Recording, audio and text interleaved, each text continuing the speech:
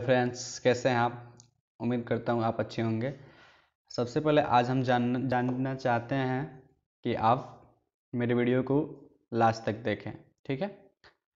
इस वीडियो में हम आज विश्लेषण करने वाले हैं शुक्राणु। शुक्राणु जो होता है क्या? वीर्य का एक हिस्सा होता है। इसके चार भाग होते हैं। सबसे पहले हेड यानी शीर्ष उस तरह से दूसरे नंबर नेक यानी ग्रीवा और मिडिल फ़ीस ये ठीक है, जो मध्य भाग होता है और चार नंबर टेल यानी पूछ। इसकी संरचना को देख सकते हैं, जो टोपी नुमा जो अति शुक्राणु में संरचना होता है, एक्रोसोम होता है, ठीक है? उसका हिंदी एक्रोसोम ही होता है। और यहाँ से, यहाँ तक ये हेड है, यानी कि शीर्ष है। और यहाँ पे नेक यानी गर्दन, ठीक है? ग्रीवा उसको बोलते हैं, ज़ीरो पॉइंट सेवन माइक्रोमीटर का होता है। और यहाँ बीच में न्यूक्लियस आपको दिख रहा होगा, जिसे केंद्रक बोलते हैं।